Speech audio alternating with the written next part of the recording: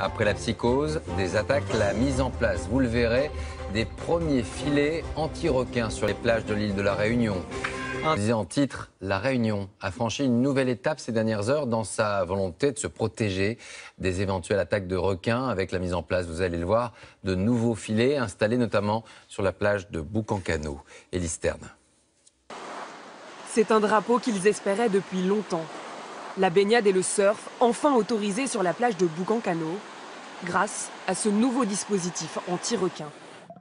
626 mètres de filets, plus solides et plus résistants, un mélange de chaînes et de cordages pour empêcher les requins de passer et résister aux vagues.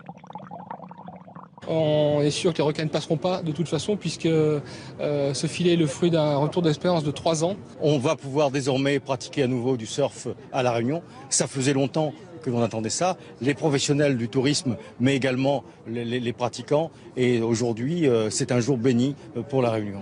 Rassurés, les baigneurs sont venus nombreux. Le fait qu'il y ait un filet, les requins ne vont pas passer par-dessus, je pense. De toute façon, c'est bien surveillé. Avec les filets, on est tranquille.